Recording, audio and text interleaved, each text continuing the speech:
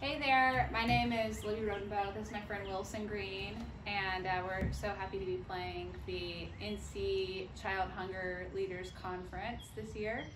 And um, we're gonna play a few old time tunes. This is a tune called Sail Away Ladies.